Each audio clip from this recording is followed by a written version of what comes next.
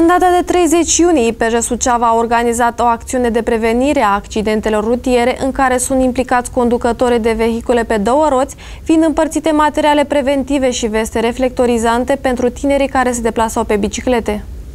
Potrivit poliției județene, acțiunea a fost desfășurată de polițiștii de prevenire din cadrul compartimentului de analiză și prevenire a criminalității, dar și de polițiștii de proximitate și cei de la nivelul secțiilor de poliție rurală. Polițiștii din cadrul compartimentului de analiză și prevenire a criminalității au oferit copiilor identificați mergând pe biciclete în zona Șcheia, dar și în celelalte localități 30 de veste reflectorizante, dar și alte materiale preventive. S-au purtat discuții cu minorii în vederea conștientizării acestora cu privire la pericolele la care se expun nerespectând legislația rutieră, a declarat purtătorul de cuvânt al IPJ Suceava, care a mai menționat că pentru a conduce o bicicletă pe drumurile publice, conducătorul acesteia trebuie să aibă vârsta de cel puțin 14 ani.